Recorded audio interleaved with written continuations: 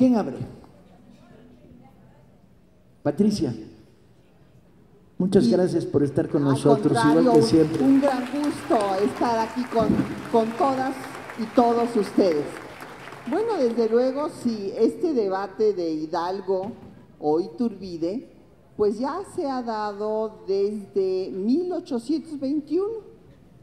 O sea, se dio en 21, se dio para el constituyente de 24, después se vuelve a dar para 1918, cuando Carranza vuelve a, tocar el tema, y con Obregón en 1921. Y bueno, eh, las decisiones se tomaron por, inclusive por los congresos correspondientes, señalando que no se podía equiparar al que había iniciado una revolución social que había abolido la esclavitud, que había suprimido las castas, los tributos, que había identificado al concepto de la libertad con la independencia, con el personaje que había sido un militar realista, sanguinario por cierto, hay que recordar las muertas de Pénjamo, o también eh, que había sido pues acomodaticio a las diversas circunstancias, acusado de malos manejos, aunque después fue eximido de tales cargos. Eh, también, eh, pues, conspirador, bueno, fue designado por los conspiradores de la profesa, el inquisidor, en fin, la alta clerecía, para un plan que después abandona para colocarse él a la cabeza de un movimiento que va a capitalizar la lucha de 11 años. Entonces, cuando se han dado estas discusiones, se dice, bueno, es que un personaje inició un movimiento popular de gran envergadura. Hay que recordar que aquí fue el primer lugar del continente americano donde se abolió la esclavitud.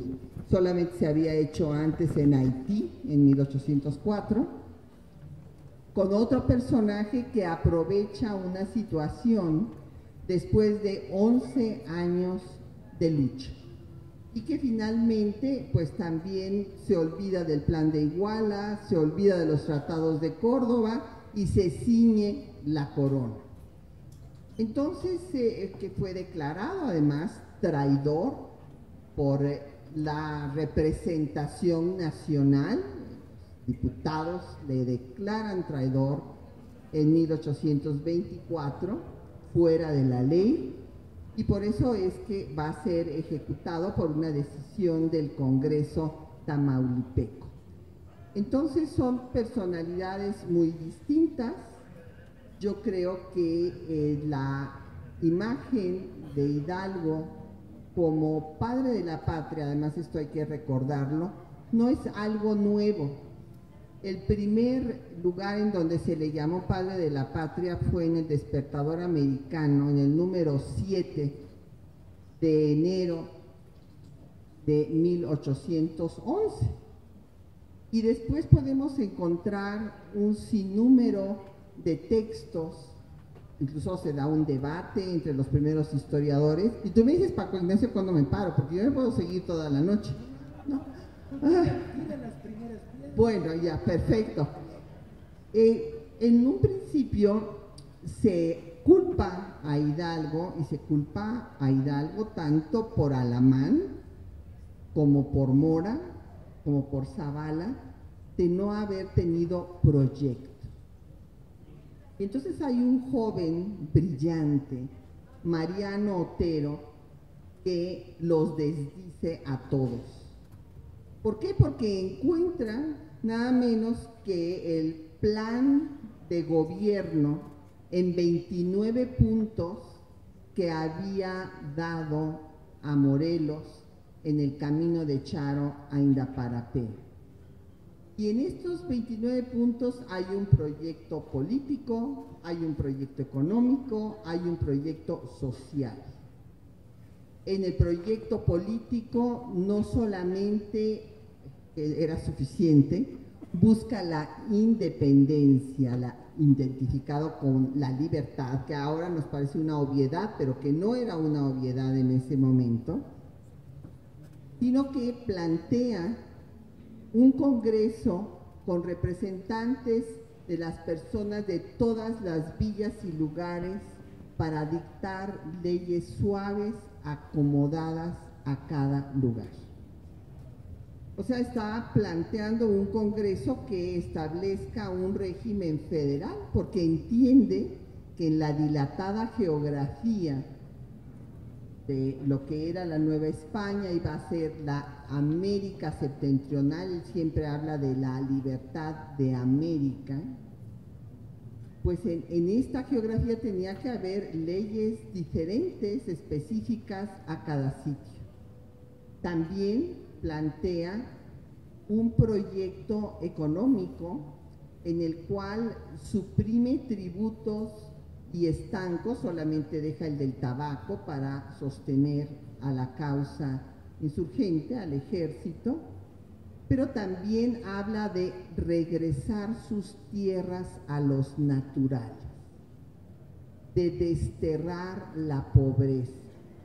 Si ustedes hacen una comparación de los 29 puntos de Hidalgo con los sentimientos de la nación de Morelos, van a encontrar palabras prácticamente repetidas. Porque claro, uno había sido el rector del colegio donde había estudiado Morelos y fue su alumno y después fue su seguidor, su discípulo. Entonces tenía un proyecto económico y un proyecto social abolir la esclavitud y suprimir las castas, que todos se nombren americanos, sin distingos de ninguna clase. Esto después Morelos lo va a decir que solo se distinga un americano del otro por el vicio o la virtud. También, esto es importante, es quien se enfrenta a la iglesia y particularmente a la Inquisición. Cuando lo excomulgan, no solamente lo excomulgan a él, sino a toda la insurgencia, y después de la consumación que le damos a Itur, que da Iturbide con Guerrero, gracias también al apoyo de Guerrero, va a tardar 15 años, tres papas, para que la iglesia reconozca la independencia. Y Hidalgo tiene la cultura, es un hombre brillante, tan brillante que sus contemporáneos, inclusive Abadi Keipo, que será el primero que lo excomulgue, pero que había antes reconocido su gran inteligencia, lo mismo que Antonio Riaño, con quien intercambiaban lecturas prohibidas, francesas, pues va a decir que él debe de ser de los representantes de la Nueva España cuando viene ya el proceso de las Cortes. ¿Se acuerdan ustedes que primero ante la crisis de España interviene Napoleón, pone a su hermano José Bonaparte y entonces se organizan las juntas para unos autogobernarse y seguir mencionando a Fernando VII. Eso es otra cosa muy interesante. Hay una carta de Allende donde le está suplicando prácticamente que acepte el camuflaje de Fernando VII. Y lo va a aceptar solamente en el mes de octubre. Hay que recordar que su movimiento es, es un tipo tan brillante que en tres meses quiere de muerte al virreinato de la Nueva España, porque ya después va a estar en manos de Allende que le quitará el poder y después estará encarcelado y será juzgado y bueno, y ejecutado. Pero lo último, le dice a las, cuando lo excomulgan, dice, no hay que temer a sus excomuniones. Ellos son católicos por política y su Dios es el dinero. Por eso es que no se lo perdonan todavía hasta la fecha.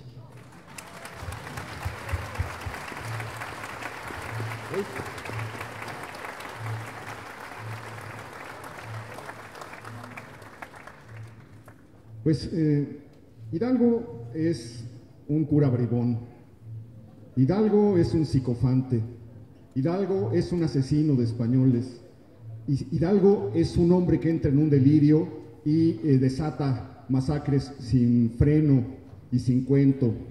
Y de repente, a medida que va pasando el tiempo, no lo, no lo digo yo, no se enojen, es lo que decían eh, poco después del inicio de la independencia. De hecho, el propio, el propio Allende piensa en algún momento matarlo y dice hay que matar a este cura cabrón. Eso es. No, no, no.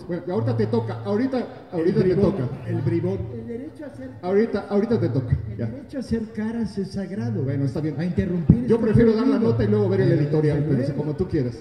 Este, eh, se, va, se va construyendo la figura eh, vista por los españoles y por los criollos de eh, un personaje siniestro, sanguinario, socavador, eh, traidor y sobre todo eh, que entra en un proceso de... ¿Perdón? que, entra, entra en un proceso de locura. ¿Qué dijo Francisco Iturbide es... La libertad de expresión se ejerce. Entonces, favor de no este, violentar. Aquí venimos a un debate, entonces oigámonos. No, pero sobre todo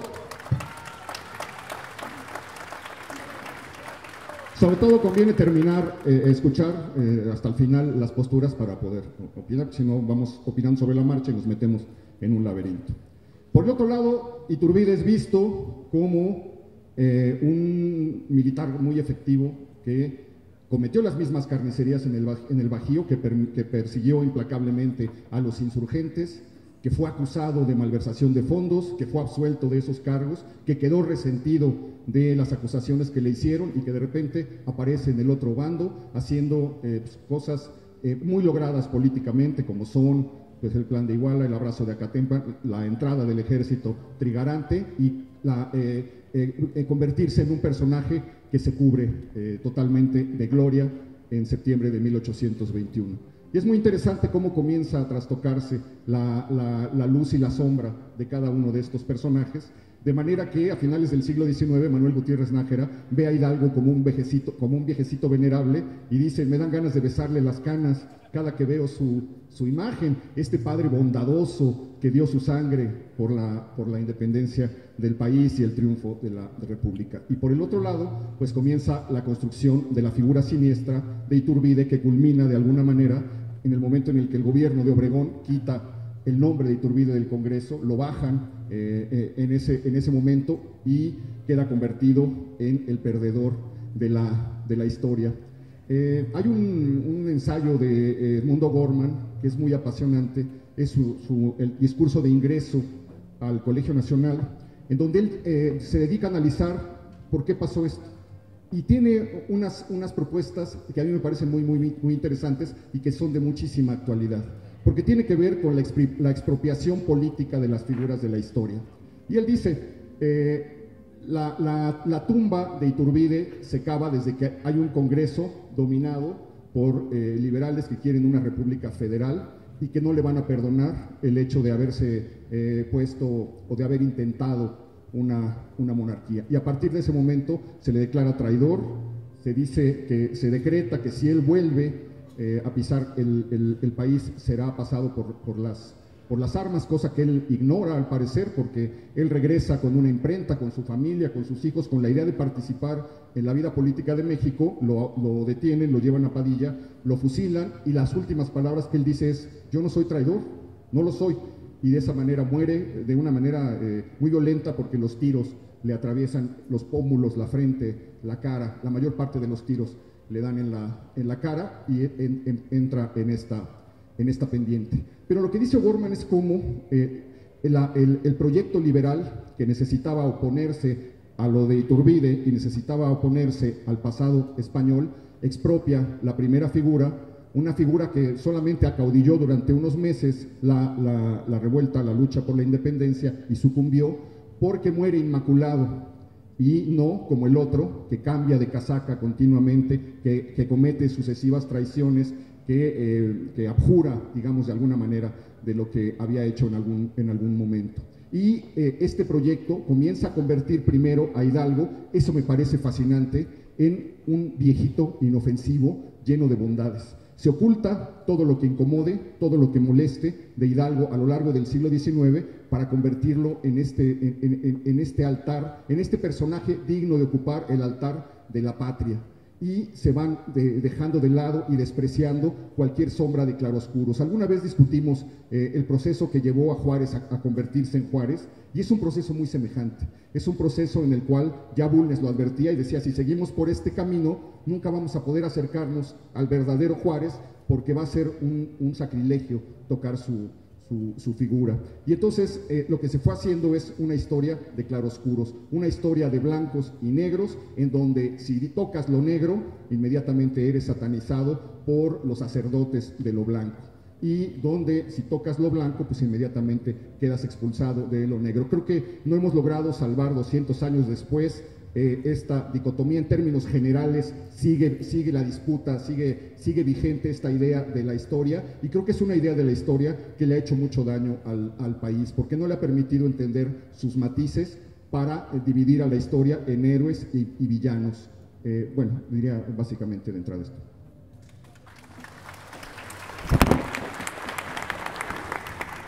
luego paso. Vamos a seguir el orden de la vuelta, ¿no? Ah, es cierto, hay una tendencia simplificadora, Blay de ambos lados. Si ustedes leen al alemán que vio la toma de Guanajuato oculto debajo de su cama, hablando de las hordas de Hidalgo, pues tendrán una versión bastante poco aproximada a la realidad de lo que estaba pasando. Es cierto, hay una tentación de polarizar y tiene un origen estamos hablando de historias muy polarizadas, extremadamente polarizadas.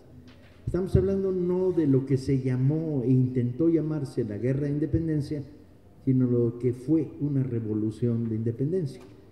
Y una revolución, como decía un amigo mío, para hacer una tortilla francesa, un omelette tienes que romper huevos. Ah, es un fenómeno donde pasiones, contradicciones y conflictos se exacerban es a vida o muerte. Y unos pierden temporalmente y otros muerten. Los indios del Mezcala, cuya historia rescata sabiamente Guillermo Prieto, se levantan del lado de la independencia, llegan los realistas y les dicen, ustedes tienen solo arcos y flechas, nosotros tenemos fusiles, mejor ríndanse. ¿Sí? Y ellos responden, pues, y entonces los realistas les dicen, es que va a correr mucha sangre. Y los indios, según se testimonia en la única crónica que existe de esto, dicen, ¿y a ustedes qué les importa si la sangre es nuestra? Ah, estamos hablando de este tipo de situaciones. La figura de Hidalgo a mí me resultó interesante, sobre todo porque me la estropearon en la, secundaria y en la prepa. Me mataron a Hidalgo. Lo volvieron un personaje blandengue y mis referencias son los billetes, las estampitas que había que recortar y pegar, ¿no? Ah, la retórica verdaderamente deleznable con que el PRI se apropió de la historia de México para hacerla funcional, ¿no?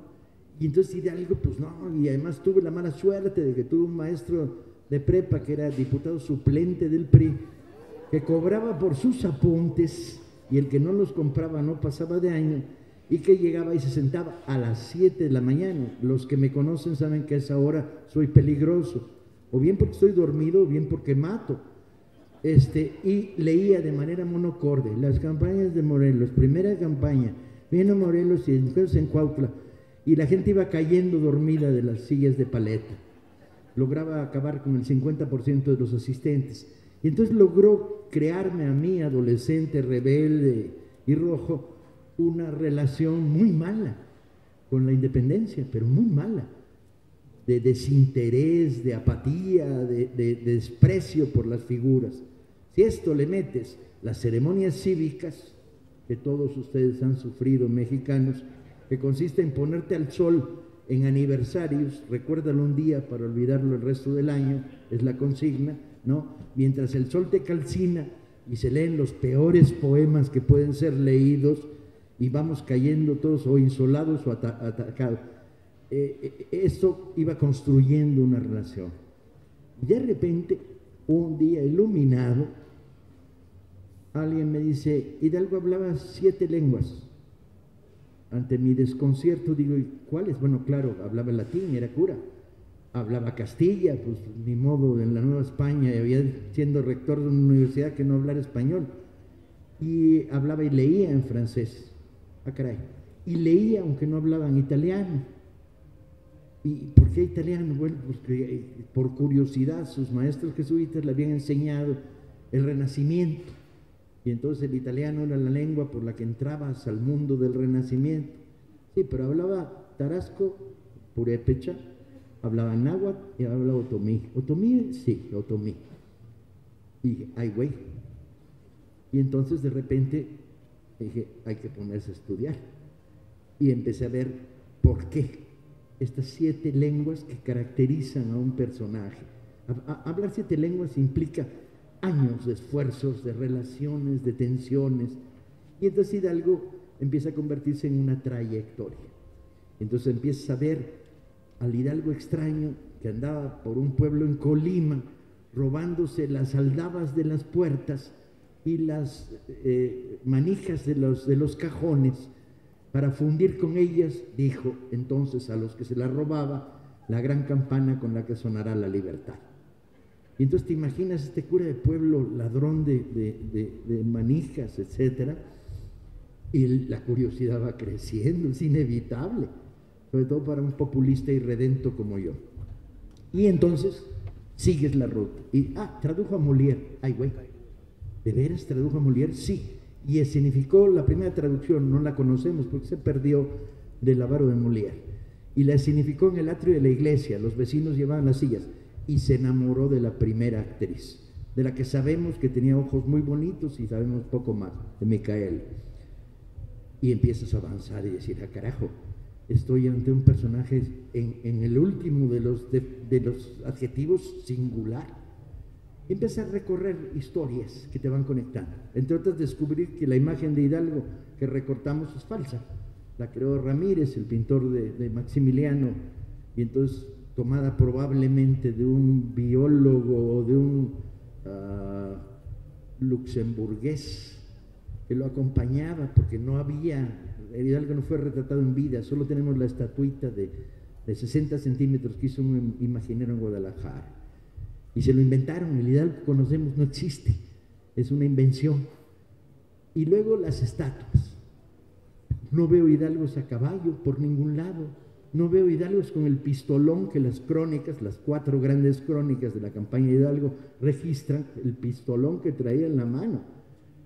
Y entonces de repente entras en el debate, ¿cómo llega el mensaje? ¿No llega el mensaje? ¿Qué papel jugaba en la conspiración de Querétaro? Notablemente secundario en la conspiración, absolutamente periférico.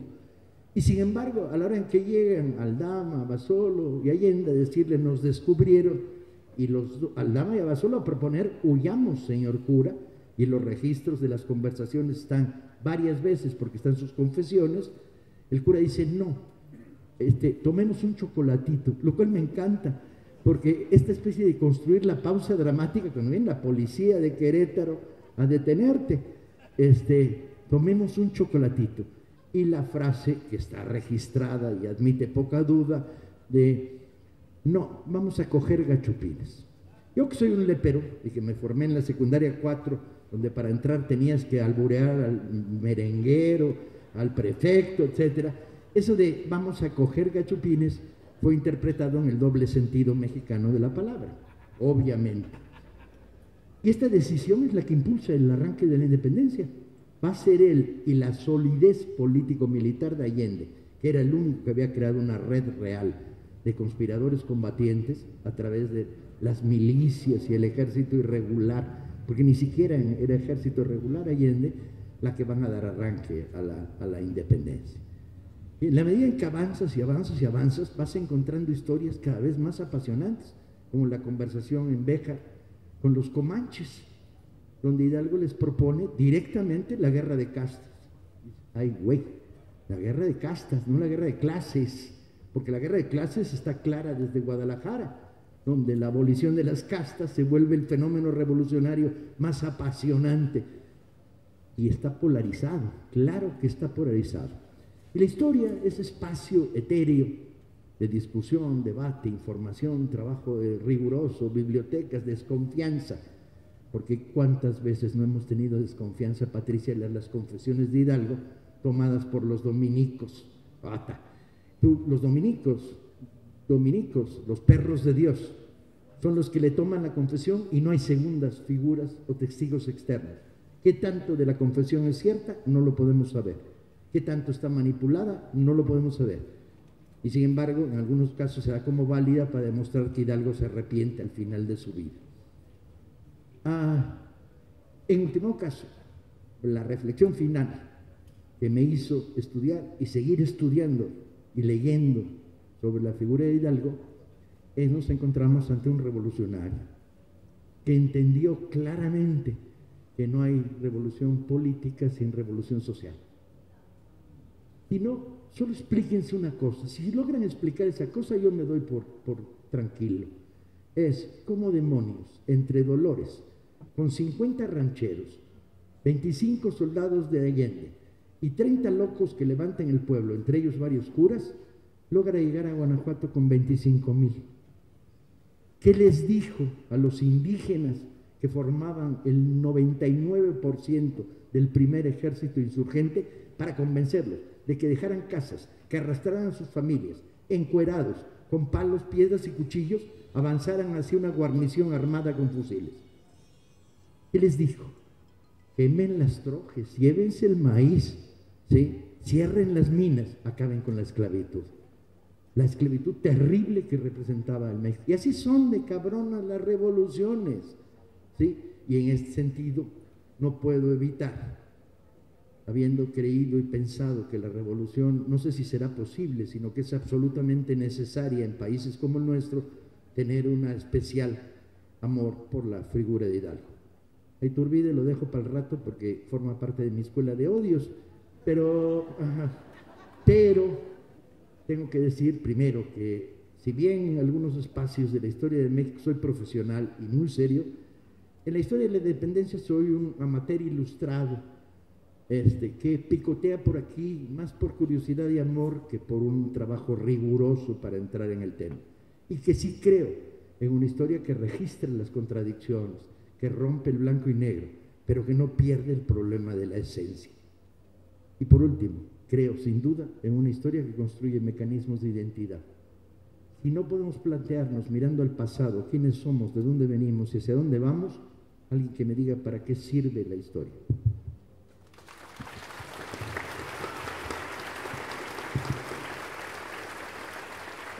¿Qué tal? Muy buenas noches. Oye, muchas gracias por la invitación. Es un honor estar aquí con la doctora Patricia Galeana, con, con aquí mis colegas contigo, Paco. Muchas gracias otra vez eh, por esta invitación. Yo empezaría diciendo eh, que algo se pudrió en México cuando nuestra primera generación política decide bien o mal ejecutar a los dos libertadores. No me refiero a Hidalgo porque Hidalgo en todo caso entraría todavía eh, como un forajido, alguien que estaba fuera de la ley y lo fusilan por eso en 1811. Pero ya en el México independiente, 1821, ya como nación nueva, que tenía un futuro promisorio hacia adelante y demás. De pronto nuestra clase política, la de los 20 y la de finales de los 20 de esa década, pues primero se echan a Iturbide y luego se echan a Guerrero. Y entonces uno se pregunta, yo no me imagino al Congreso de Estados Unidos así en su reunión diciendo, oye, ¿sabes qué? Franklin me caga. Con eso de la cometita, con su, con su llavecita cazando rayos, ¿por qué no lo fusilamos? O a Jefferson dicen que tiene una esclava, eh, hoy diríamos afroamericana, y que tiene una relación ahí rara, deberíamos fusilarlo, o a Washington, o a toda esta generación. Yo creo que hubo un momento ahí muy extraño en México, donde al final, para bien o para mal, nos guste o no, Iturbide y Guerrero consumaron la independencia. Como le hayan hecho, quizá Iturbide supo hablarle bonito a la gente, a las clases, obviamente traicionó ahí a los españoles cuando lo habían elegido para que comandara el movimiento y lo terminara de un modo y lo terminó a su manera, muy al estilo criollo, más cercano al movimiento criollo de 1808 o incluso al de la conspiración de Allende y de Aldama, mucho más criollo en ese sentido que lo que proponían, por ejemplo, Hidalgo o eh, Morelos. Pero al final Iturbide supo hablarle bonito a todo mundo, convenció, se acercó a Guerrero y consuma la independencia. Entonces yo creo que dentro de esa perspectiva, eh, para empezar, sí, yo sigo cuestionándome qué fue, porque realmente si ustedes analizan a Iturbide, ¿qué fue tan grave? Hemos visto otros casos peores en personajes en la historia, como para que terminara siendo fusilado como lo fusilaron, siendo además insisto, uno de los personajes importantes para la consumación de la independencia, junto con Vicente Guerrero. Entonces, a partir de esa idea, yo creo que los únicos que desde entonces quisieron a Iturbide fueron Manuel Mier y Terán, que decidió suicidarse clavándose la espada en, en, el vientre frente a su tumba en Padilla, y el otro fue Anastasio Bustamante, presidente de México, que pidió como última voluntad que cuando muriera le sacaran el corazón y lo pusieran junto a los restos de Iturbide. Si quieren ver el corazón de Bustamante, pueden ir a la capilla de San Felipe de Jesús y ahí se ve muy claramente el corazón junto al fémur y los huesos de Iturbide. Pero el hecho es que al final yo me sumo también a esta idea de que tenemos una historia demasiado polarizada, porque yo creo que nadie puede negarle los méritos a Hidalgo de ningún modo. Y cuando uno empieza a cuestionarse, sí, pero es que mató españoles, sí, pero es que eh, permitió el saqueo. A ver, era una revolución. O sea, no estaban cazando mariposas en el parque o en la pradera o, pescando mientras caía la tarde en una laguna, en la laguna del encanto, que luego sería la de, la de Benito Juárez. O sea, es un momento de, llevado al límite donde las personalidades tocan los límites. Y ahí vemos los excesos de algunos personajes, quizá eh, las dudas de otros personajes. Al final, la historia y sus momentos determinan también al personaje o el proceder de ciertos personajes. A mí no me sorprende si Hidalgo permitió o se excedían ciertas cosas porque era un momento absolutamente caótico, un momento que no se había visto en la Nueva España, yo creo que en ningún momento anterior en esas dimensiones. Iturbide, por otro lado, cumplía en cierto modo con su deber, también pues tenía que cazar insurgentes en esa primera etapa, no sería un político distinto de los muchos que hemos visto a lo largo de la historia, y yo creo que en ese sentido, eh, por eso hay que explicarlos en sus contextos y yo creo que uno inicia y el otro termina, pero a los dos en todos casos tendríamos que reconocerles su parte en ese inicio y culminación del movimiento. Ahora, a mí me llama mucho la atención, si ustedes eh, prestaron atención ahora en las fiestas patrias, eh, un comercial de la Sedena, donde prácticamente hablaban de Vivas, a Hidalgo, a Morelos, Allende y todos, y yo creo, o al menos yo no recuerdo Nunca antes que, y menos la Sedena, reconociera Viva Iturbide y el ejército trigarante. Y en el anuncio se mencionaba, no ha habido ningún presidente, al menos de los que yo recuerde recientes, digamos del siglo XX ya, de la revolución para acá, que se haya atrevido el día de la noche del grito de independencia a gritar junto a Allende, Aldama, Jiménez, Leona Vicario y demás, viva Iturbide. Por eso me llamó mucho la atención en este caso eh, que la Sedena reconociera al menos en el anuncio, en el comercial de televisión y de radio, a Iturbide como pues, parte de ese proceso de independencia, viva Iturbide y el ejército trigarante. Cosas también eh, que no saben, decía Héctor, muchas veces la manipulación del personaje, que tiene que ver mucho también con no interpretarlos en sus contextos, sino sacarlos para ponerlos en otro lugar. Pues vimos eso que llamó José Vasconcelos en 1921 la humorada costosa. A Obregón se le ocurre que era bueno conmemorar la consumación de la independencia.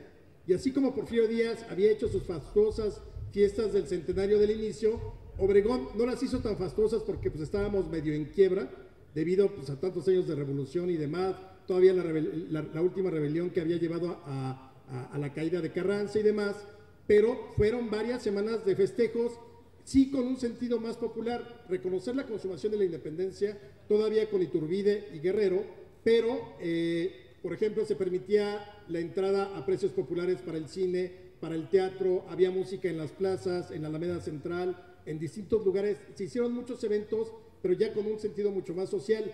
Sin embargo, estabas o estaban conmemorando un movimiento que al final había sido culminado por la élite. Recuerden, por ejemplo, el 28 de septiembre cuando se firma el acta de independencia. En esa acta no hay ninguna firma de ninguno de los insurgentes de esa generación de Hidalgo o de Morelos. No firma Guerrero, no firma Guadalupe Victoria, no firman todos estos personajes que habían estado. Fueron puros de los criollos que ya habían terminado junto, aliados junto con eh, Agustín Iturbide, hasta Donojú, claro.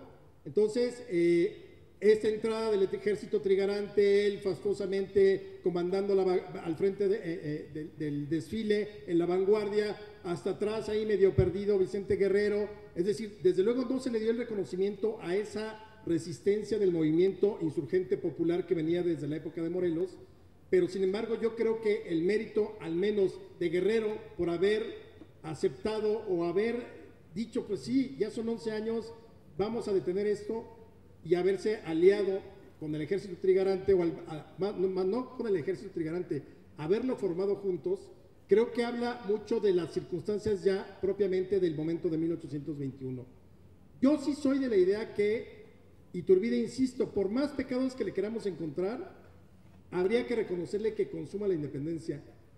Yo no tendría ningún problema si lo viera junto con los restos de los demás ahí en el Ángel de la Independencia. Creo que se revuelcan más en sus tumbas Carranza frente a Villa en el Monumento a la Revolución, por ejemplo. Eso me parece aún más grotesco que si vida estuviera... Porque recuerden además, las crónicas cuentan que en aquellas corridas de toros de principios del siglo XIX, eh, cerca del curato de, Hidalgo, pues ahí se encontraban Hidalgo, Allende, Iturbide, de pronto hasta me parece Calleja, si no mal recuerdo. Es decir, era gente que se conocía y era gente que en un, jamás imaginó que terminaría siendo unos enemigos de otros. Pero insisto, yo creo que el problema de nuestra historia es que la hemos polarizado demasiado. Y no nosotros, nosotros lo que pretendemos es simplificar y despolarizar, digamos, si vale la expresión. Porque si el hecho de haber quizá a lo largo del siglo XX, sobre todo la segunda mitad, con los libros de texto, con las interpretaciones de los discursos oficialistas en efemérides históricas, con las series o las recreaciones de la obra nacional o en Telesistema Mexicano que luego sería Televisa, donde se van ocultando, digamos, los errores, por llamarlos así, o, por, las partes oscuras de los héroes, y por otro lado, se van omitiendo de los famosos villanos las partes que podrían ser encomiables o rescatables, pues de pronto tuvimos un cielo y un infierno, villanos contra héroes, y entonces así fue como llegamos a estas estampitas, a estas estampitas donde finalmente unos eran los buenos, buenos, buenos que infalibles y nunca se equivocaban y los otros eran malos, terribles villanos.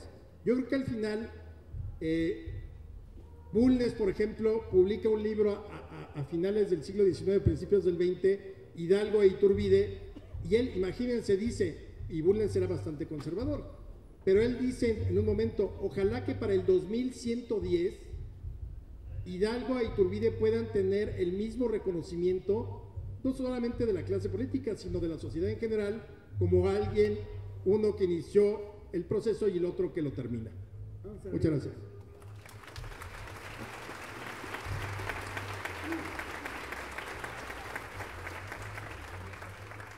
La historia es polarizada.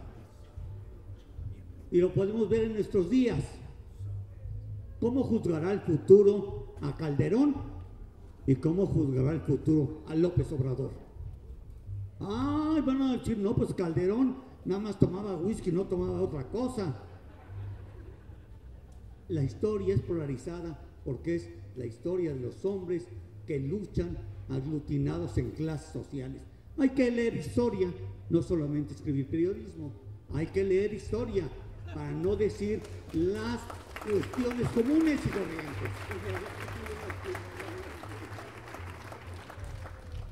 La independencia la consumó Iturbide de casualidad, de casualidad, la conspiración que estaban haciendo el inquisidor Monteagudo, Bataller, Miguel Bataller, el otro de la torre, el otro torre que, estaban haciendo, no contaban, no, no incluían a Iturbide. El plan de separar la Nueva España de España era como una respuesta que polarizados era una, a la implantación de una república liberal en España. Qué polarizados, ¿por qué no se aguantaban? ¿Por qué querían a Fernando VII en contra de la república? ¿Y por qué no querían que se aplicara aquí? Entonces, de chiripa y de casualidad, escogieron a Iturbide, porque Iturbide también de chiripa y de casualidad le dio en el mando del, ejército del sur. Por lo menos es lo que dice Lucas Alamán. Entonces, en ese sentido, pudo haber sido cualquiera, cualquiera militar que se prestara a seguirles el juego a los españoles que querían separar a la Nueva España de España para impedir que triunfara la República Liberal aquí también. Eso era el fondo lo que querían. Y esa es la razón por la cual Iturbide decide, acepta y ahí traiciona. Primero dice que sí, luego le dice al, uh, al que estaba de acuerdo con el proyecto. Le dice al proyecto que sí, vamos a hacer, vamos a hacer la independencia, todos pensando en que yo me quedo con el gobierno. Y cuando ve la oportunidad, eso sí hay que reconocerle a Iturbide, su gran capacidad de codicia, su gran capacidad de audacia, no detenerse ante la traición de quienes lo habían llevado, de Monteagudo, de Bataller, no detenerse contra él, ni de traicionar al, virrey, sino inventar un plan, porque el plan de Iguala plantea, parece que en el punto 4, mm, plantea que se trata de traer a Fernando VII o a un pariente de ellos, ese era el proyecto que tenían. E Iturbide aprovecha que no se dan las circunstancias y entonces se trepa a él. Esa es la verdad. ¿Por qué le vamos a agradecer? ¿Qué le agradecemos? La persecución contra las mujeres de los uh, insurgentes que por el hecho de ser esposas, madres, hijas, hermanas, las encarcelaba y las sometía prácticamente a situaciones torturantes en las cárceles de Bajío. Los asaltos que realizaban las conductas para enriquecerse, ¿qué vamos a reconocer a Iturbide? La matanza de sus insurgentes que hacía cada vez que podía. Yo no creo que se tenga por hacer. Y es una vergüenza, lo digo con toda claridad, que el secretario de Defensa ande defendiendo a Iturbide. Eso es inconcebible en México. Eso es inaceptable.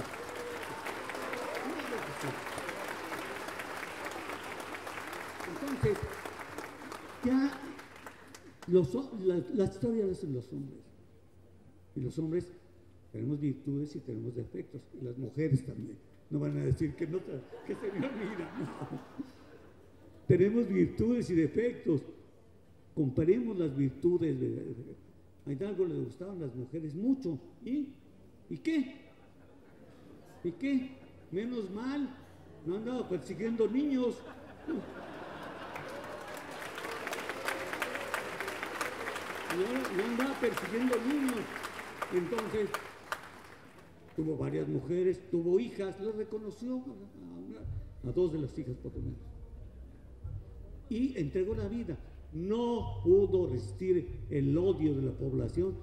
Es el odio de la población. A mí me gustaría que en un estallido popular, a ver cómo le iba a Peña Nieto y, a, Calderón, a ver cómo les iba con, eh, con los padres de las víctimas, con los que han sufrido la desaparición de sus parientes. A ver cómo les iba. Entonces, claro, condenables, condenables, inaceptables, inaceptables, pero ¿y los 300 años de opresión contra los indios? Se nos olvida, qué fácil, se nos olvidan los 300 años, todo lo que sufrieron, con las hambrunas que hubo un poco antes de la independencia. Todo eso se olvida y se dice, ay, eran unos asesinos. Y los españoles, me acuerdo que los eh, conquistadores le traían a los niños, a ver, bautícelo, señor cura, los bautizaba, ah, los mataban, decían, otra alma mandada al cielo. Eso, así, así es. Entonces, la historia es polarizada. Pero ahora la historia es polarizada, también alentada desde el gobierno. y desde el poder. Ese es un problema central.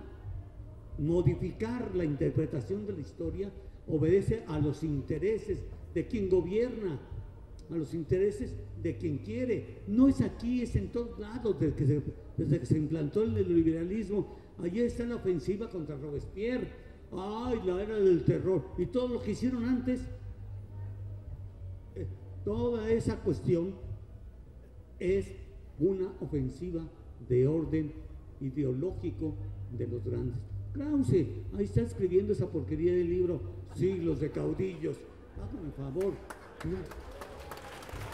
En ese, en ese libro se dedica a hurgar de dónde nació Ocampo. Ay, Ocampo de hijo legítimo. Juan esto algo tenía tantas mujeres. Y así por el estilo. Porque de esa manera rompen las estatuas de bronce. No rompen nada, engañan, mienten. Entonces nosotros necesitamos hacer historia documentada, historia que les digamos, aquí está el documento, aquí está el testimonio, nada de que lo vi en la tele, ni lo leí en el periódico, nada.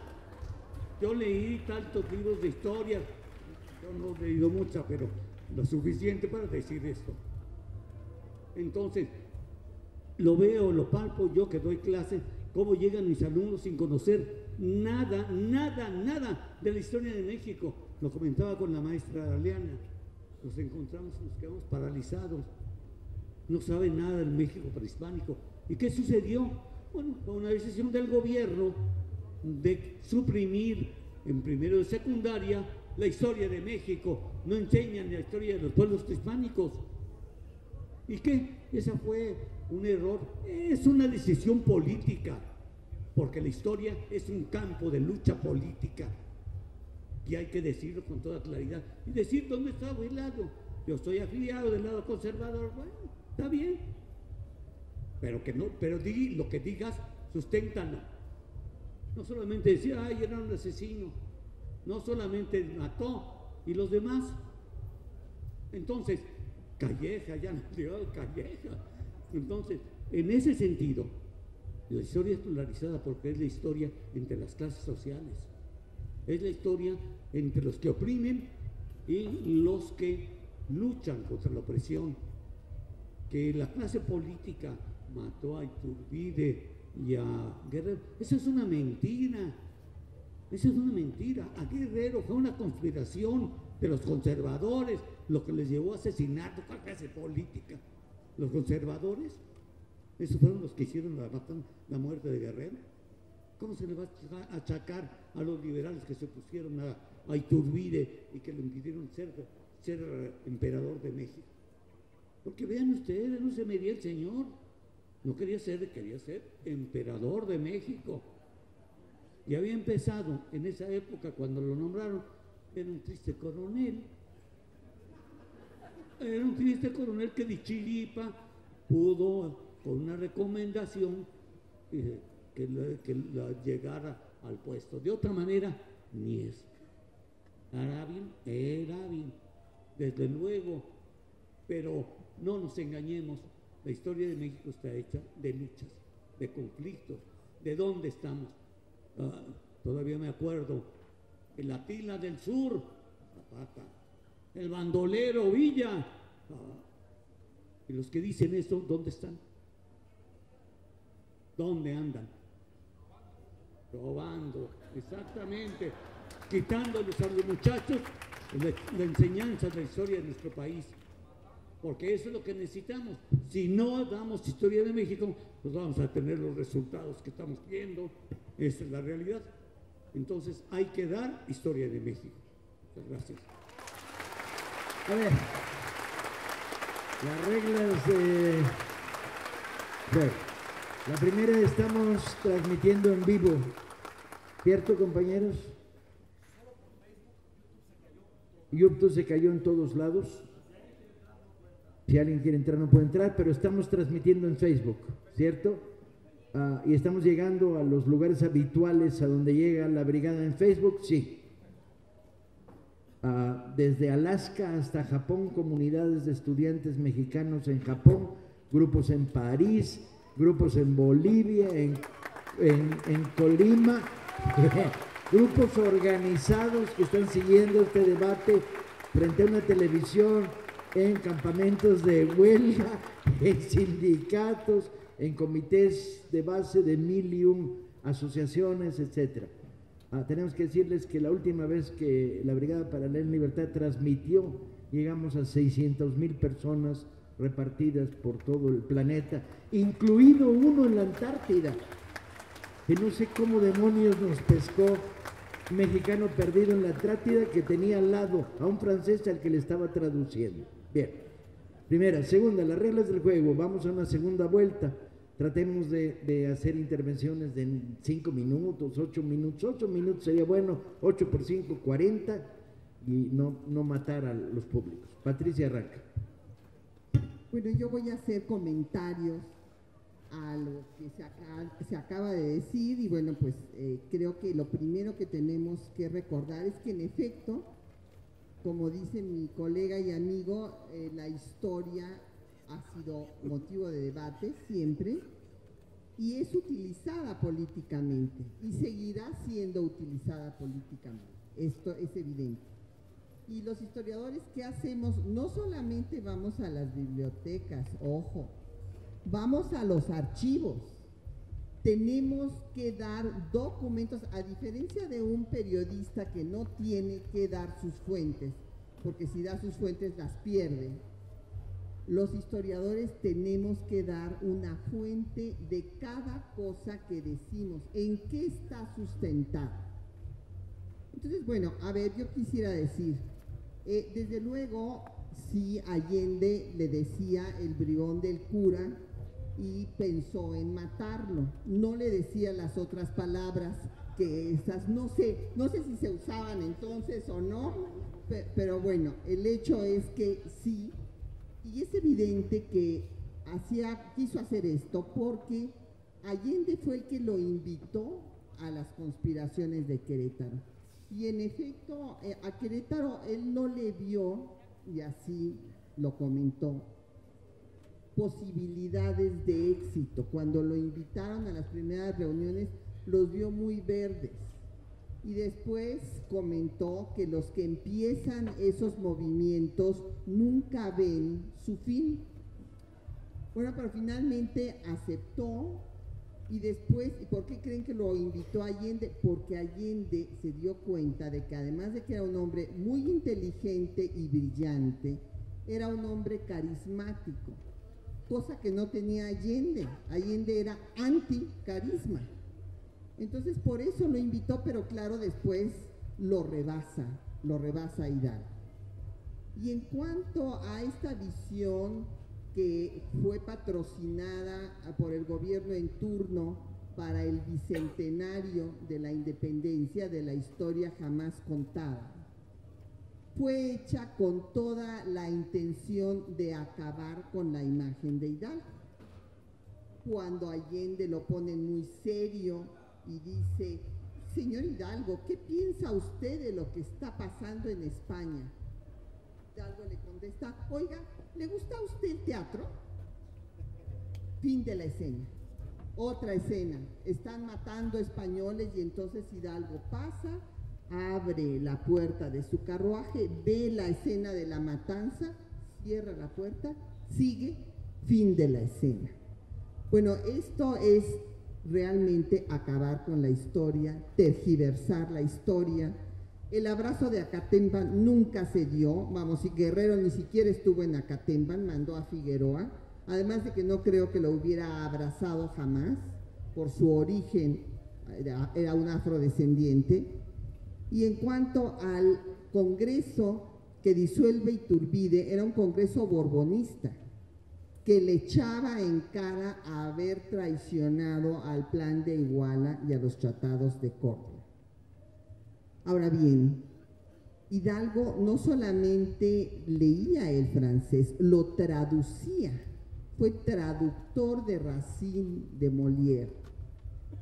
Y su imagen, en efecto, no es la del abuelito bonachón que nos han legado, hay un dibujo en el Archivo General de la Nación de la época que lo presenta, es un dibujo negro muy chiquito, de este tamaño, he tenido el privilegio de tenerlo en mis manos, y lo presenta con una nariz aguileña grande, con su sombrero de capa negra y su capa como andaban los, los curas en aquel tiempo.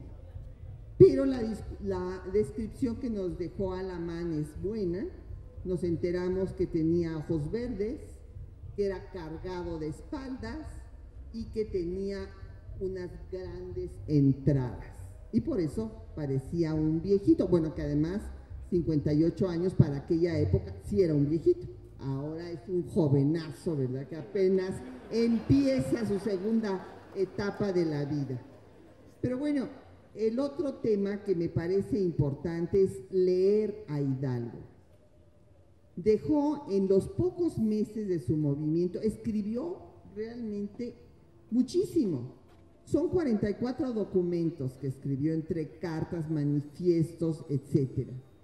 Y hay que recordar que sí, muere heroicamente porque no aceptan el indulto. Podían haberse indultado, y ellos dijeron que el indulto era para los criminales, no para los defensores de la patria. Y que se arrepiente de los excesos, pues sí, él era un católico muy heterodoxo, ¿eh? pero muy heterodoxo. Por ejemplo, decía que el infierno, primero en un sermón dijo que estaba en este mundo.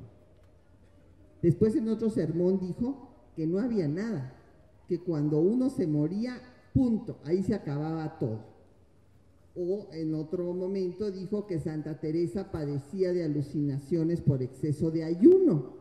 Entonces ustedes imaginen a la santa más importante de España y que Hidalgo dijera semejantes cosas, pues lo llama la Inquisición varias veces, pero como era muy inteligente, siempre sale bien librado hasta que, desde luego, le declara la guerra al imperio y como la iglesia era aliada del imperio español, pues entonces hasta ahí llegó Hidalgo. Y desde luego que sí se arrepiente de los excesos, como cualquier persona se arrepentiría de excesos, y déjenme decirles, en sus 29 puntos, que luego la gente habla de un personaje y ni siquiera ha leído un solo documento del personaje, lo cual me parece una falta de seriedad total en los 29 puntos él pone penas al saqueo, con pena de muerte a los saqueadores. Y además también protege a las mujeres para que no sean violadas. Esto es muy importante. En cuanto a Iturbide y Guerrero, bueno, aquí hay que recordar, porque se mencionó a Obregón, estoy haciendo precisiones históricas y tengo todos los documentos probatorios de lo que digo por si alguien quiere que se los muestre.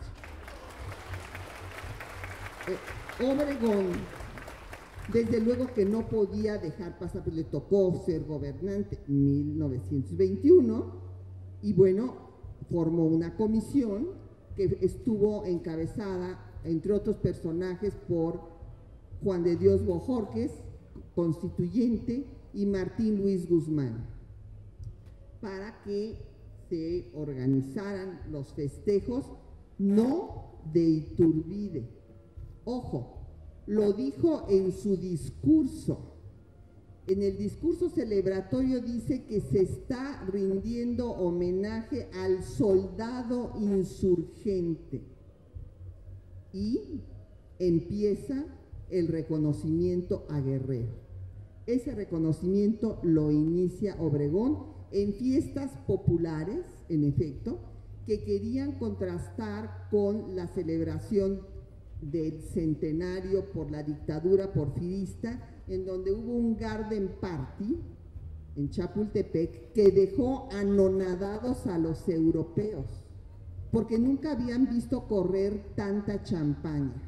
Esto está escrito por un testimonio, un viajero que vino y que dijo, es que ciertamente en las cortes europeas pues hay mucho lujo, pero aquí era tal la cantidad de personas que realmente se fue impresionado. A los indígenas no se les dejaba caminar por Paseo de la Reforma para que no fueran a fear el panorama para los visitantes. Entonces Obregón quiso hacer lo contrario. Y finalmente, lo que quiero decir, porque creo que ya me va a tocar la campana, es que Antonio Díaz Soto y Gama, el ideólogo de Zapata, es el que propone que se quiten, se quite el nombre de Iturbide de la Galería de Honor que había en el recinto parlamentario, está en Donceles, que se había puesto en 1835, cuando los conservadores llegan al poder, porque todos los gobiernos federalistas nunca celebraron el 27 de septiembre, celebraron el 16 de septiembre. Pero cuando toman los conservadores el poder, antes de dar las siete leyes de 1836, se propone Paguaga propone que se ponga todo esto y se ponen las letras de oro y Antonio Díaz Soto y Gama en 1921 propone que se quiten porque dice que rendir homenaje a Iturbide o a Santana, porque los equipara, es rendir homenaje al pretorianismo y a la felonía y en su lugar propone que se incluya a Belisario Domínguez, cosa que se vota por casi unanimidad, nada más hay un voto en contra, todos los demás son a favor. En cuanto a Iturbide como un militar, yo diría que eso, esto les da otra óptica del mundo. Hay que recordar que la diferencia de la insurgencia en México la hace precisamente que se dé un movimiento social. Si hubiera sido Allende el que encabezara el movimiento, pues hubiera sido como las independencias sudamericanas, pero no.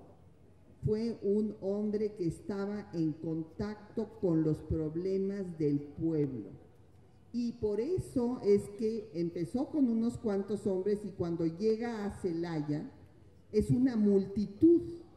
¿Por qué? Porque lo siguen familias enteras.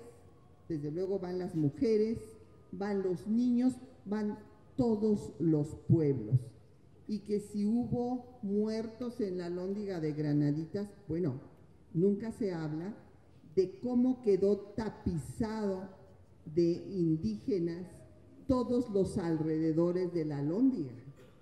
Y evidentemente, pues el pípila o muchos pípilas, porque pudo haber muchos, porque era una zona minera y se ponían la losa para que no les cayeran los proyectiles que lanzaban los españoles desde la lóndiga, pues sí, cuando entran, pues acaban con los españoles, sí, ciertamente, pero siempre se recuerda, qué barbaridad, el sanguinario de Hidalgo, ¿cómo no paró eso?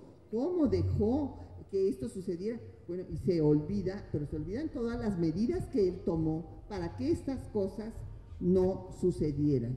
Entonces, eh, yo creo que sí, se tiene que reconocer, y si ha reconocido, no es ninguna novedad. Hay eh, libros de historia desde Lucas Alamán hasta los contemporáneos han reconocido lo que hizo Iturbide y lo que hizo Hidalgo.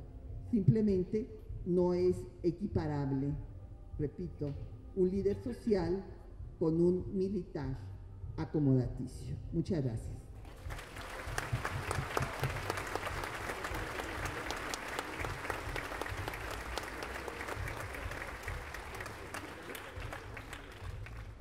Es muy, es muy curioso eh, la lectura que se le va dando a los procesos históricos. Desde luego, en el momento en que están ocurriendo son, son producto de polarizaciones. Pero eh, yo creo, yo soy de los que cree que sería un error dos siglos después seguirlos leyendo de manera polarizante o polarizada, porque nada más seguirás viendo la, una, desde una perspectiva y desde una visión de este tamañito. Te vuelves un historiador de este tamañito. Y eh, eso hace que tu discurso sea del mismo, del mismo tamaño. Hay un problema en México, es un problema que nos ha acompañado siempre y es precisamente esta, este duelo entre eh, cómo la historia se va moviendo según eh, desde el poder o desde el proyecto político dominante. yo creo que la tragedia de Iturbide comienza por el propio Iturbide porque él hace todo lo posible por separarse de Hidalgo y decir que la independencia de Hidalgo es un, momento, un movimiento distinto a lo que él está consumando. Y es algo que después va a pagar pero eh, se mencionó a Antonio López de Santana. Hubo un momento en el que eh, Santana intenta reivindicar a Iturbide, trata de hacer un monumento donde estén las fechas. Él habla de cuatro fechas, por cierto, que es eh, la independencia, el, en 1810, es la entrada del ejército trigarante, es el ascenso de, de la Constitución, y luego él dice, Iturbide no consumó la independencia, la consumé yo porque detuve a Barradas eh, en, el río Soto, la, Marina. Y entonces trata de, si, Santana no hubiera caído, probablemente hoy está, y no, hubiera pasado todo lo que pasó después, probablemente ahorita estaríamos diciendo eh, Hidalgo o Santana. No sé. Este, y eh, desde 1823 comienza la separación, porque en 1823 traen los huesos de los héroes de la independencia a la catedral y ese mismo año traen, o al año siguiente traen a Iturbide y lo ponen en, la capilla de la que nos hablaba eh, Alejandro, Alejandro Rosas. desde, ese momento queda separado. Yo creo que la gran transformación de Hidalgo eh, ocurre eh, con la intervención francesa. Deja de ser esta figura suave y dócil, esta figura paternal de abuelito de la patria, más que de padre de la patria, que se había ido construyendo con la llegada de, la intervención francesa, porque en ese momento Ignacio Ramírez lo retoma y le devuelve algo de, salvajismo, de dureza, de, lo vuelve otra vez un ser bravío que era lo que se había ido, lo que se había ido perdiendo. Y de alguna manera eh, la historia de bronce lo vuelve a convertir en un personaje eh, de bronce. Contrasta mucho con, cómo lo pinta Orozco. Orozco en el mural, en su mural, lo pinta con los ojos llenos de furia, con un rostro en llamas, vuelve a ser este personaje que la historia estaba tratando de suavizar. A lo que voy es a lo siguiente es a que eh, los proyectos dominantes siempre cuentan la historia que los justifica. Desde, los, desde el siglo XIX eh, se trató de ver el pasado como, una, como un proceso que llevaba al momento en el que llegaban los liberales. O eh, Porfirio Díaz lo que hizo fue tratar de ver, de acomodar toda la historia para que la consecuencia natural de eso fuera él mismo. Y el PRI hizo lo mismo, fue expropiando lo que le convenía a lo largo del tiempo y por ese, ese fue uno de los problemas que creo yo tuvo el PAN eh, en el 2010 con el Bicentenario, porque cómo iba a celebrar a Zapata, cómo iba a celebrar a Villa, si eran las figuras emblemáticas de los otros, con quienes se iban a, con quienes se iban a quedar ellos que eh, se consideraban como herederos o descendientes de, los, de los conservadores. Entonces yo creo que eso influyó, esa, esa ceguera, eh, esa mezquindad política y esa cortedad de visión histórica influyó para que perdiéramos la oportunidad de tener un gran centenario de la revolución y un gran bicentenario de la independencia y acabaron en las mamarrachadas que, que vimos, ¿no? que fueron de verdad de, patéticas. fue una oportunidad que se perdió, se perdió totalmente, pero se perdió por eso, porque eh, estamos eh, con una visión tan desfigurada de nuestro pasado que no podemos entender nuestro, nuestro presente. Y si insisten en polarizar la historia y en, seguir presentándonos el mundo de los, de los héroes y de los villanos, si seguimos sin poder reconocer que el acta de independencia se firmó precisamente porque el ejército trigarante entró y por las que, porque eh, Iturbide hizo las maniobras políticas que hizo, seguiremos teniendo una cortedad de visión, seguiremos vociferando como si estuviéramos en, Dolores en 1810 y no eh, en el Zócalo de 2018. Yo creo que ya es urgente volver a... Eh, creo que cada generación, Paco, eh, hace una interpretación de la historia, vuelve a reinterpretar la historia para sí misma. Yo creo que ya es urgente de que volvamos a hacer una lectura de todo lo que ha pasado en este país, de cómo pasó, que tiremos a un lado la historia de bronce y todas estas versiones eh, de, luz, de luces y de sombras, que entendamos los matices, las rugosidades, que aceptemos lo que incomoda que eh, nos abramos y que celebremos lo que, lo que hay que aplaudir y, celebrar, porque si no, seguiremos siendo un pueblo. Es como una persona que no recuerda su infancia, que tiene bloqueada su infancia. Esa persona, sencillamente, o su adolescencia, sencillamente esa persona no sabe quién es, no sabe, no sabe de dónde viene, no sabe a dónde va. Bueno, imagínate, imagínense que te pasa eso como país que tienes mutilada la memoria o la tienes distorsionada por intereses, por los intereses políticos de, costumbre, de, rigor. Yo creo que es un momento para hacer un corte de caja y volver a, replantear y recontarlo todo por salud, por salud mental, salud cultural, por salud histórica.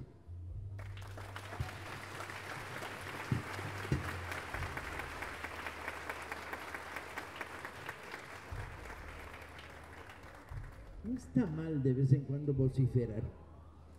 Así como no está mal que algunos reconozcan que no hay pecado en que hayamos ganado las elecciones, porque últimamente hay una visión de lo pecaminoso, que es la construcción de una mayoría.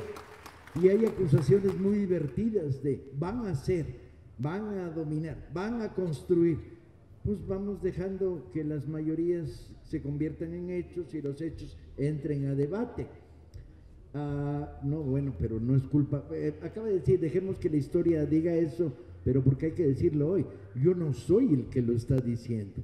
Hay una oleada de pensamiento conservador tratando de establecer una visión anticipada de los hechos y de señalar pecados donde todavía no hubo tiempo a pecar. Pero respecto a la historia vociferante, añadirle el ante y no vociferosa, por ejemplo, que es más bonito, está divertido. Yo insisto, llego a Hidalgo pescando. No soy un profesional de la historia de la independencia serio. Soy un pescador de material que me relaciona con el pasado. Lo más crítico que puedo ser, lo más matizado que intento ser, ah, pero hay cosas en Hidalgo que construyen un retrato bastante sólido como por ejemplo las acusaciones que le hacen los múltiples inquisidores que lo denuncian a la Inquisición a lo largo de su vida, donde dicen cosas como, y dijo que no creía en los Reyes Magos. Yo, que no creo en los Reyes Magos, me sentí plenamente identificado, sobre todo porque empecé a leer versiones postbíblicas sobre los reyes que sabían que iba a haber un nacimiento, que llegaron de quién sabe dónde, que se juntaron el mismo día. Es muy divertido. Es como cuando me pregunté cómo demonios le hizo Noé para conseguir dos jirafas en el monte Ararat. Ah, y por qué logró que fueran parejita, jirafa hembra y jirafa macho. ¿De dónde chingados llegaron las jirafas al monte Ararat? El monte Ararat está en la mitad de Armenia. Nunca vieron en su vida a la fecha una pinche jirafa, ¿no? Entonces, para subirlas al arca, yo no veo duda en que es fácil meter una jirafa a un arca, pero veo grandes dificultades de conseguir dos jirafas en Armenia. Bien, ah, esto, descubrí, por ejemplo, que Morelos había leído el Corán, cosa que me dejó notablemente sorprendido porque no era fácil de encontrar en la España no hispánica un ejemplar del Corán. ¿De dónde lo logró sustraer para leerlo? Que te da la idea de un tipo de religioso eminentemente cultos, con una visión hipercrítica de la sociedad, que fueron religiosos porque, y la cantidad de insurgentes curas es impresionante, porque los caminos de ascenso en la sociedad colonial implicaban la milicia y el curato, y si querías educación, pues no había muchos más caminos, ¿no? Entonces resulta muy interesante acercarte a estas microanécdotas que como buen eh, maoísta zen que soy, este, en, el grano de arena está el universo, pues, ¿no? Pero hay otras que todavía me iluminan más en la proximidad de Hidalgo. Va a Totonilco y va directo, directo, hay dos crónicas que lo atestiguan, de gente que estuvo ahí, a la, a la pintura de la Virgen de Guadalupe, directo. Que además no sirve como estandarte de un ejército, porque es un lienzo grande, grande de madera, que hay que desclavar de la pared, ponerle una cruceta y pobres de los que lo tienen que cargar, que los que iban hasta delante del ejército insurgente. Y esta decisión de ir a buscar una virgen morena es una decisión clasista, hombre. Y su reacción, el virreinato declara, esos traen a la Virgen de Guadalupe, nosotros a la Virgen de los Remedios, lo cual prueba que el catolicismo tiene una esencia politeísta muy potente. Y sacan del santuario de Escapozalco a la Virgen de los Remedios, famosa porque había impedido inundaciones. Pero si uno lee las crónicas de la época, fueron tres años de inundaciones de la chingada en Azcapotzalco. Entonces, la Virgen de los Remedios para, serviría para otras cosas, pero no para parar inundaciones. La ponen en palio. Es una virgen chiquita, con un pequeño niño Jesús. Y la sacan a desfilar con Cuauhtémoc y Cortés, dos soldados del ejército eh, eh, realista, por delante. Y Guillermo, que es un personaje siniestro de toda sinestidad, ah, manda hacer estampitas de la Virgen de los Remedios para ponértelas sobre el corazón, cosidas o gualdrapas en el- en el sombrero. Pero luego encontré un documento maravilloso donde Guillermo se las cobra al gobierno virreinal las estampitas, lo cual te da una idea de las oligarquías que ha habido en este país, hombre. Ey, Guillermo y todos sus descendientes, hasta llegar a Videgaray, se han estado vendiendo estampitas al gobierno. Hay una lógica permanente ahí de tranza, tranza, luego avanza, ¿no? Ah, que era lo que debía estar en letras de oro en la Cámara de Diputados pasada, este lema fundamental. Ah, este Hidalgo con la Virgen de Guadalupe por delante construye una visión clasista, una Virgen morena. No, da- no, no lo sienten eh, con claridad el problema de ante quién estamos, qué tipo de personaje tenemos ahí y, y qué tipo de, conexión entre el pasado y el presente. Y con esto me voy a pelear con Héctor, que me peleo muy pocas veces, en general porque yo soy generoso, ¿no? Este, me voy a pelear con Héctor. No podemos evitar el problema de la construcción de identidad.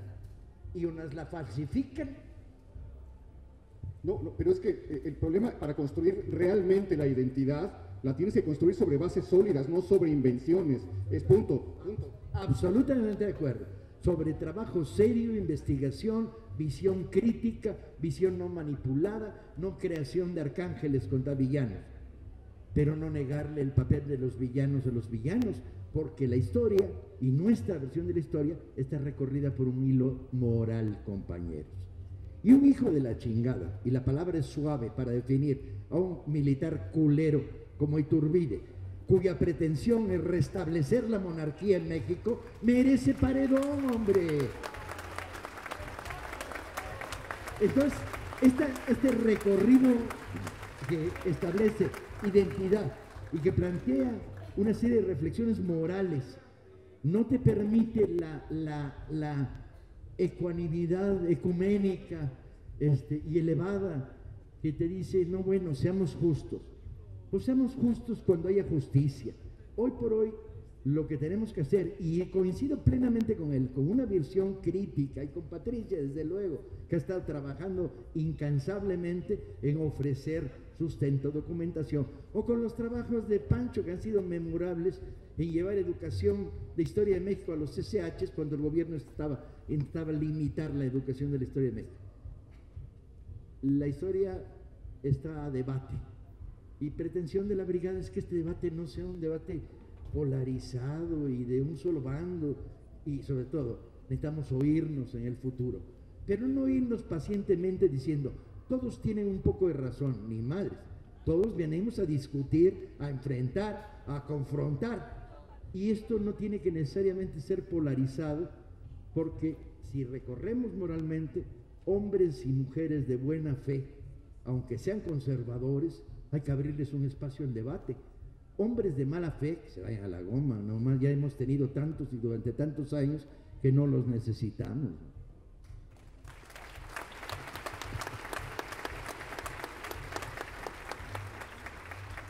Yo creo que eh, evidentemente eh, la historia oficial siempre va a existir, siempre ha existido, es inherente a las sociedades en general.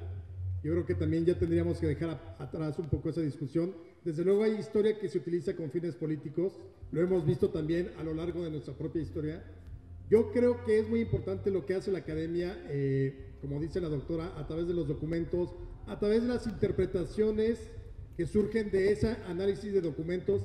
Creo que ahí es donde nosotros podemos encontrar el terreno para explicarnos más el pasado, las circunstancias. Y por otro lado, eh, sí, es un militar culero que consumó la independencia. Y yo nuevamente regreso a eso. A mí no me incomoda Iturbide. Yo admiro mucho a Hidalgo, por ejemplo. Y creo que, por ejemplo, eh, hay cosas tan simples y quizá tan casuales en la historia que pueden cambiar el propio proceso, como decía la doctora con respecto a Hidalgo. Esa noche que se echan para atrás Allende, Aldama, no, me acuerdo si estaba Jiménez, los tres que dicen, no, no, no, mejor nos escondemos y nos vemos en un mes. Si Hidalgo no salta a decir ni madre, vamos a ir a coger gachupines, primero chocolatito previo, que además, qué, qué maravilla que se puedan, él las decisiones las tomaba previo chocolatito con agua, y eso es maravilloso. Pero eso cambió la historia y cambió la historia de un movimiento que no había sido planeado para en ningún sentido social y popular. Y es exactamente lo mismo que pasa con Iturbide. Iturbide sí, quizá era un mediocre, bueno, no, no quizá, era un mediocre, era gandalla, era traidor, pero estuvo en el momento para tomar la decisión que él creía personal y termina consumando la independencia. Entonces entramos en esos pequeños detalles que muchas veces nos arruinan la idea del proceso que debería llevar la historia. ¿Qué hubiera pasado si Santana muere en 1838 cuando recibe, eh, eh, le cae la granada cerca que le vuela la pierna. Otro gallo hubiera cantado totalmente. Esas casualidades juegan también en la historia. Y en el caso de Iturbide, ahí estaba bien. Era, dijeron, bueno, lo vamos a manipular porque es muy ambicioso.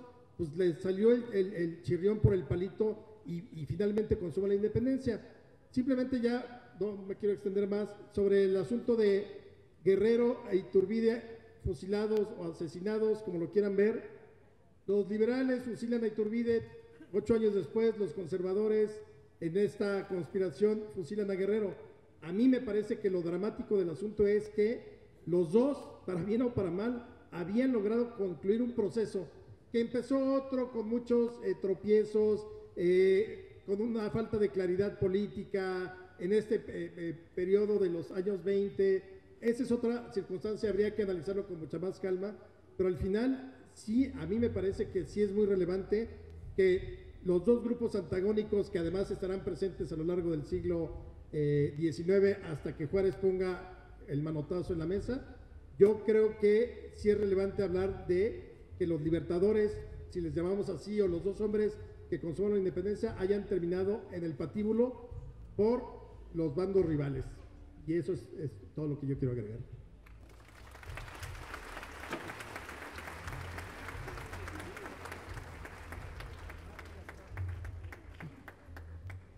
Hidalgo encabeza la primera gran revolución, guerra campesina en América Latina después de la de Perú.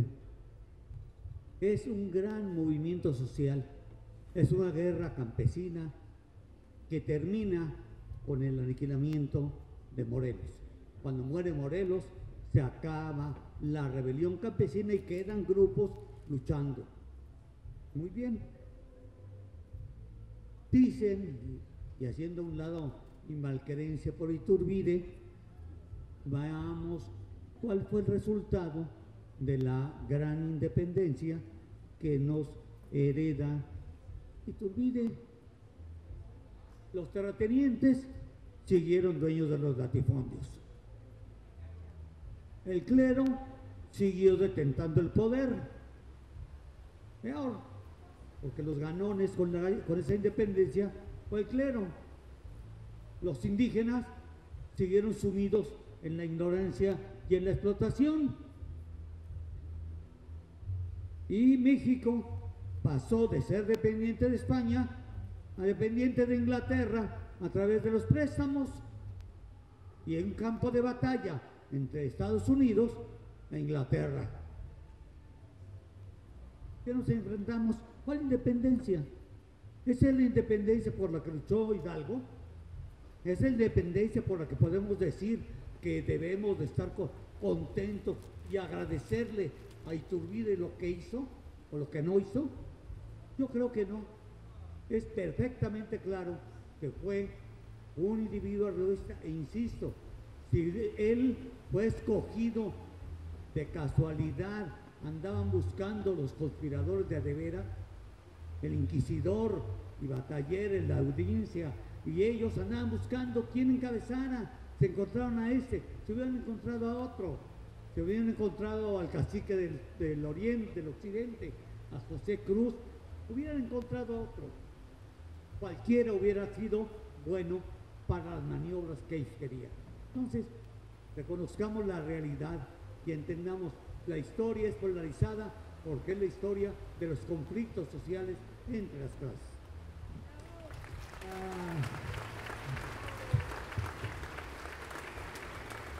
En algo estaremos de acuerdo los que aquí estamos, en bastantes cosas algunos, en menos otros, pero hay algo que es obvio. A la pregunta de, de quién es la historia, la respuesta es de todos nosotros. No es del Estado, no es de los historiadores que somos viles instrumentos de batalla y combate y recuperación profesional, no es de, Televisa, desde luego, la historia es de todos, la historia de los mexicanos es nuestra. Y el proceso de recuperarla es un proceso, combatamos la lluvia, y el proceso de recuperarla, claro que está con nosotros, porque por eso muchos que no les interesa el tema se metieron al salón. Ah, y el proceso de recuperarla es un proceso colectivo.